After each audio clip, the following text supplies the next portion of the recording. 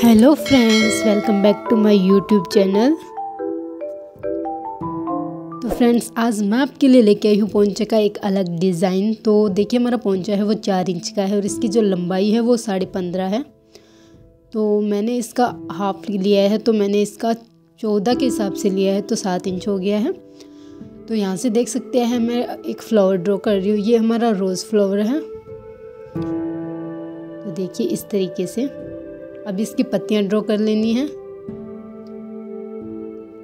इसका बहुत dark colour है, इसलिए थोड़ा साफ़ नहीं दिखाई दे रहा है।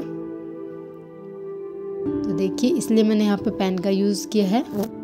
तो आप देख सकते हैं, ऐसे ही हमें तीनों तरफ़ बना लेने हैं।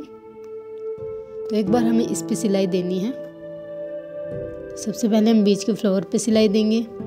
जैसे जैसे हमने इस पे मार्क किए हैं, उनके ऊपर ऊपर हमें सिलाई देनी है।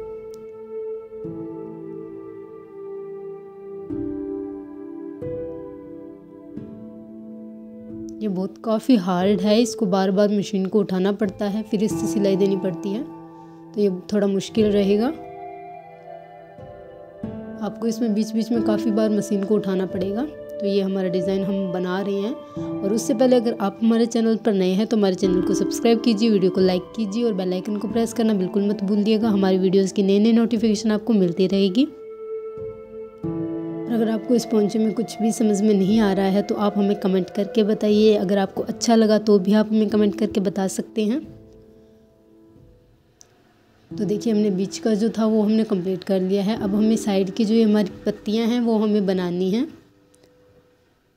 तो अब हमारी पत्तियाँ बनाएँगे।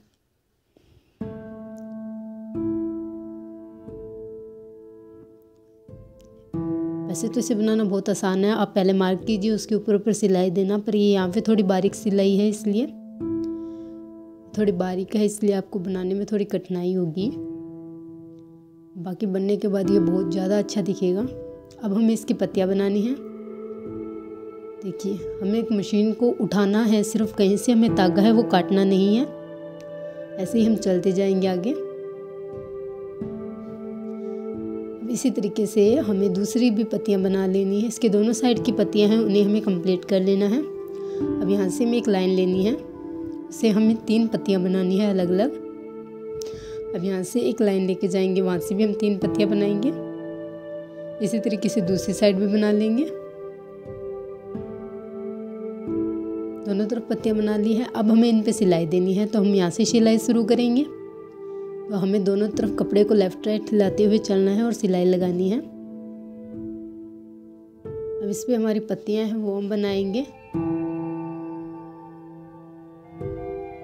इसी तरीके से बाकी पत्तियाँ तैयार कर लेनी है। हमारी पत्तियाँ वो रेडी है, इसी तरीके से हम दूसरी साइड भी बना लेंगे। देखिए हमारा पौचा है जो बनकर तैयार हो चुका है, बहुत ही ब्यूटीफुल डिज़ाइन बन रहा है।